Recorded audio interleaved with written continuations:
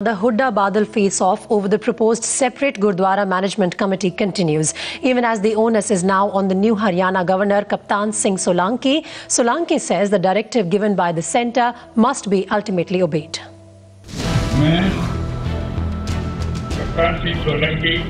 Kaptan Singh Solanki taking oath as the new governor of Haryana. Haryana राज्य Haryana ki Janta ka. कल्याण हो उत्थान हो भला हो ये वास्तव में प्रजातंत्र का काम होता है संवैधानिक पद होने के कारण मेरी भी एक भूमिका है But Solanki will have to hit the ground running as he takes charge amid a huge tussle between Chief Minister Bhupinder Singh Hooda and his counterpart in Punjab over a separate SGPC.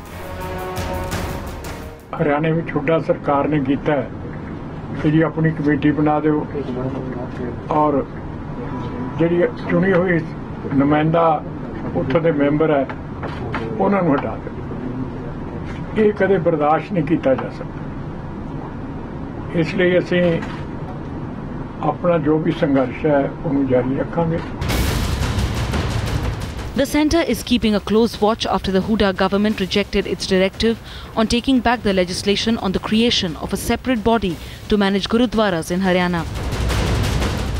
The central government is looking at all the aspects of the newly formed Haryana SGPC, the Gurdwara body for the state of Haryana, created by the Chief Minister Bhupinder Singh Hooda.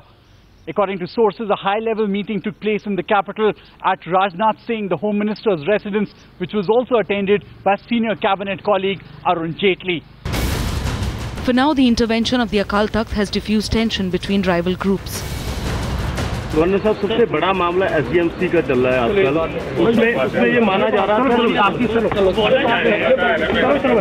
था but what stand the Haryana governor takes on Hooda government's legislation on a separate SGPC is being eagerly awaited. Bureau Report, Times Now.